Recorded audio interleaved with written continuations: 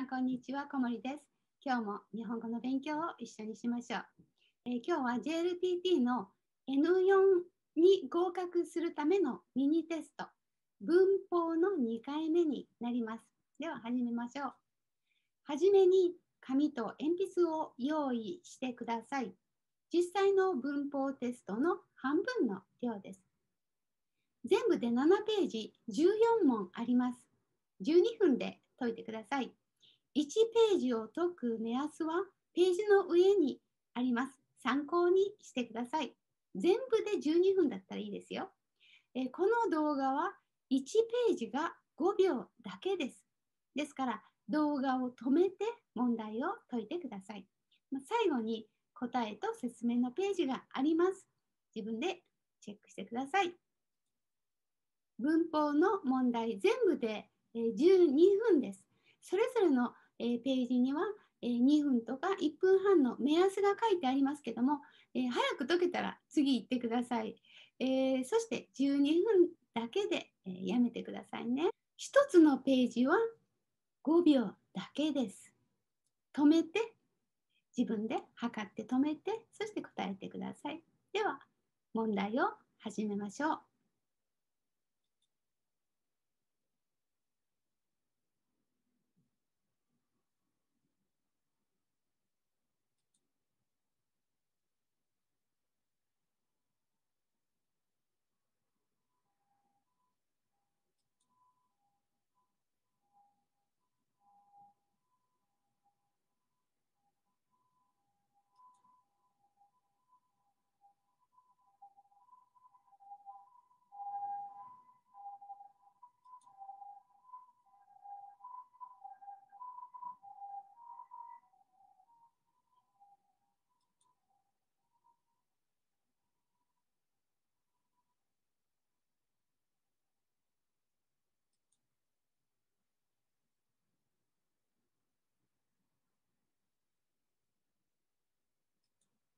これで終わりました。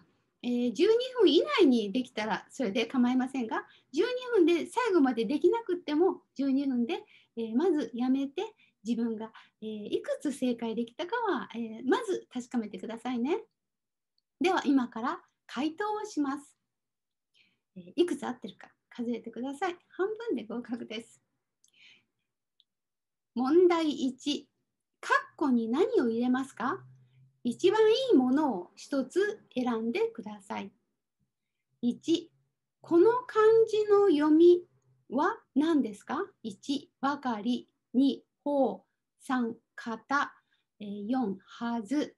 さあ、この漢字の読みは何ですか、ま、?how to read ですかね。あのど何と読みますかという意味になります。はい、答えは？型。3番。この漢字の読み方は何ですか？が答えです。では次、2番。子供に携帯電話を1、壊された、2、壊させた、3、壊れた、4、壊させられた。さあ、子供に携帯電話を、これは子供が壊したんですね。それをどう言いますか、壊された。パッシブですね。壊されたが正解です。1番。では3番。大学に日本に来ました。1、入るために。2、入るように。3、入りそうに。4、入るつもりに。これは、あの、purpose ですね。入る、enter。大学に日本に来ました。さあ答えは入るために、大学に入るために日本に来ました。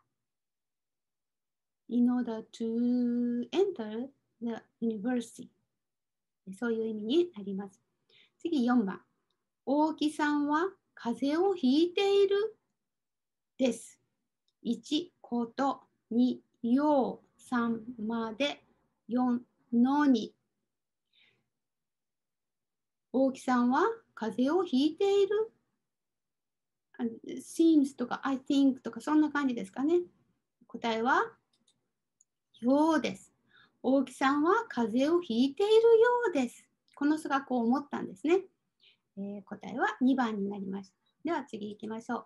問題1の答えのこの問題1の続きになります。5番、明日は30分早く1、起きている。2、起きるところだ。3、起きるばかりだ。4、起きなければならない。さあ、この最後の、出てくると最後の言葉が何になるかっていうことです。これ、明日のことですからね。明日のことは何と言うでしょうか？と答えは、起きなければならない。あの全部あの、明日のことにはこれ使えませんね。起きなければならないが正解です。えー、次6番。欲しかった服が残念です。残念なんですね。1、買ってほしい。2、買うつもり。3、買いたい。4、買えなくて。残念なことをここに入れます。はい、答えは？買えなくて。買えなかったんですね。買えなくて残念です。4番が正解になります。えー、7番、道が混んでいて会社まで2時間かかってしまった。えー、1、2、2で3も4をですけども、えー、これはあの思ったよりも多かったっていう時に使う助詞パーティクルになります。では、どれでしょうか？もうですね、2時間もとっても多かったっていう時にこのもを使います。道が混んでいて会社まで2時間もかかってしまった。はい、3番が正解です。8番、この映画をことがありますか ?1、見ている。2、見よう。3、見て。4、見た。これは experience を聞いています。えー、その時にはどのフォームを使ったでしょうか？はい、答えは見たことが他フォームですね。見たことがありますか ?Do you have any experience, experience ね to watch this movie? 見たことがありますか？とありますね。はい、じゃあ次は問題2になります。えー、星印の場所に入るものはどれですか？一番いいものを一つ選んでください。まあ、これはあのこの問題は全部がどこかに入ります。で、ここに入るのはどれですか？っていうことなので、あのこれをあの組み立てて文を作れば分かります。問題9番、夕方になると、えー、この中に4つの中にこれ4つの言葉がこうどこかにこう入っていきますからこれを、えー、文章にしてからここに入れ入れるんですけどもね、えー、どうなりますかね。夕方になるとはいこうなります。犬が散歩に行きたがります。夕方になると犬が散歩に行きたがります。ですからここに入るのは2番が正解になります。次10番。わからないならならは if ですよね。わからないなら先生にこれを4つ入れます。1、どう？2、聞いて3、見たら4ですか。これを入れますけども、さあ答えは？わからないなら先生に聞いてみたらどうですかこの場所には1番が入ります。はい。じゃあ次は問題3。11から14に何を入れますか？一番いいものを一つ選んでください。えー、順番に読んでいきますね。ケーキ店。私の家の近くにいつもたくさんのお客さんが並んでいる店があります。そこはケーキの店です。あ、ケーキの、ごめんなさい。そこはケーキの店です。えー、これはだから、えーここをつなぐ言葉になります。ですから、こっちを読まないといけません。人気があるなら私も一度食べて12と思いました。この人思ったんですね。そこはケーキの店です。お客さんがたくさん並んでいます。そこはケーキの店です。で、ここに何が入るか。1、どんなに。2、どうやって。3、そんなに。4、そうやって。えー、人気があるなら。さあ、どれでしょうか、答えは。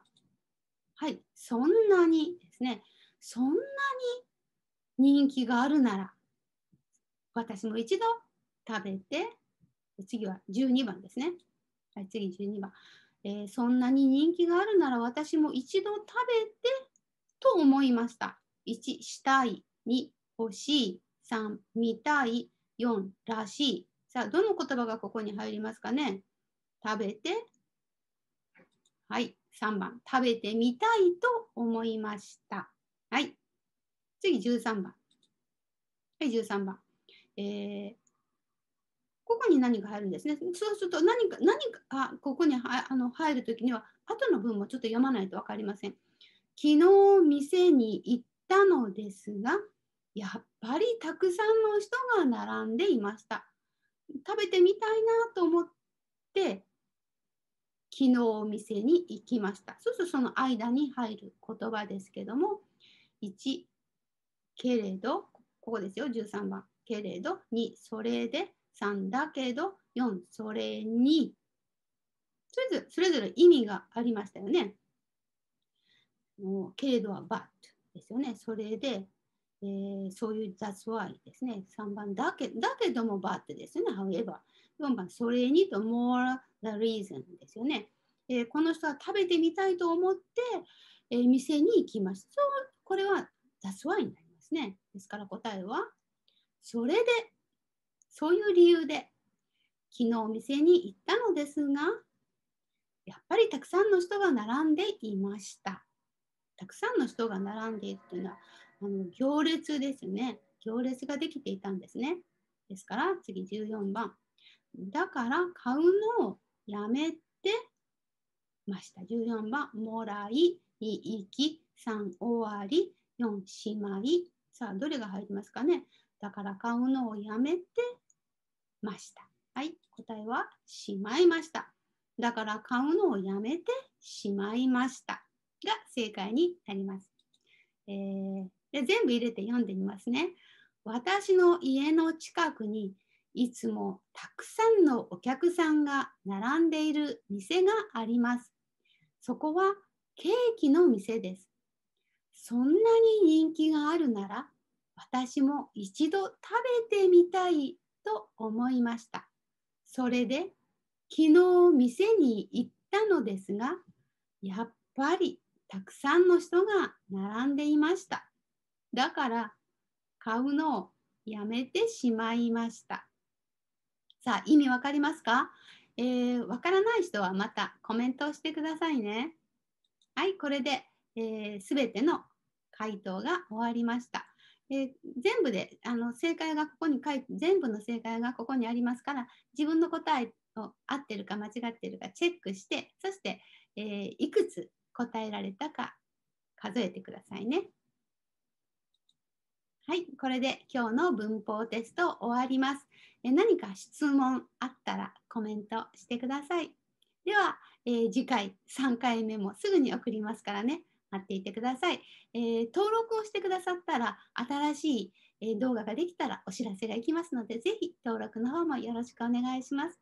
では、えまた次回お会いしましょう。さようなら。